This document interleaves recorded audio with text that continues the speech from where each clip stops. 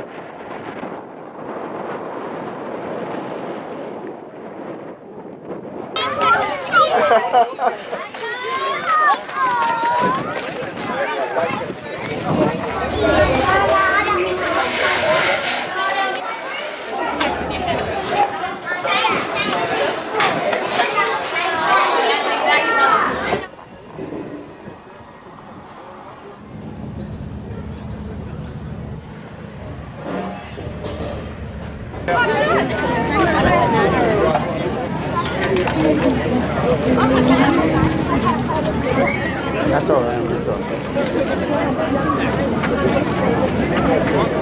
あれ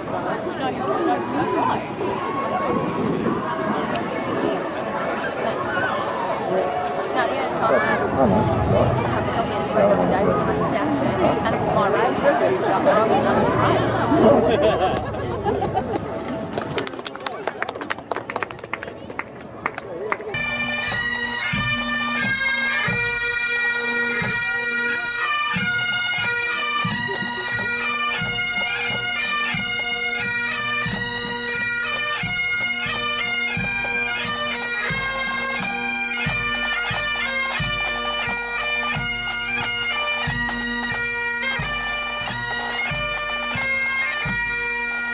Uh, the rider Christina Williams. Seven horses to greet the judge on the first event. Um, the six, those who haven't been to Kulin before, it's one of the most picturesque tracks in Australia. You've got the Jilakin Rock um, in between the two turns in the back straight, and you've also got um, the Jilakin Lake as they uh, climb the hill and negotiate the sweeping bend that leads them into the short straight here at uh, Kulin, which is a little bit reminiscent of Moonee Valley in Victoria. So it's quite interesting. It's quite a effort to ride here. The track's fairly tight. The maximum amount of runners is eight.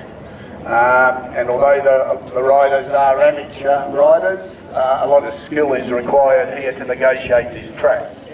Yeah, well, because we're only a, a bush races and not a picnic race, mm. we're not registered to run horses that are currently racing anywhere or jockeys, so mm. they've got to be out of the game for at least two years mm. before they can race here. Okay? That makes sense. That's why you, you get a lot of amateurs. So people bring their own horses, they train them up themselves, and you don't get too many professionals. 60, 70 now. 100, 100, 100, that's it. Push them up, don't be shy. 100 it is. At 100, you want another one, take your 10 if it makes it easier. 100 it is. 100, 100, 100. Each horse races in uh, colours, a little bit like the dogs. Number one races in blue, number two in uh, the all-white colours of the club, number three is in red, four is in pink, five is in green, six yellow, seven purple and eight black. So that helps um, with identifying the horses from a calling point of view and also from a punting point of view. So, you know, you just need to follow your colours during the course of the race. Uh, there's a number of events during the um, afternoon from dog races. Ready, Teddy, go, we're off. The little kid at the front, to sheep races, to uh, kids races, to tug of wars, to anything you want. If you want to challenge your wife or husband to a race, I think we can probably accommodate that as well. Anyway, sit back, enjoy the entertainment.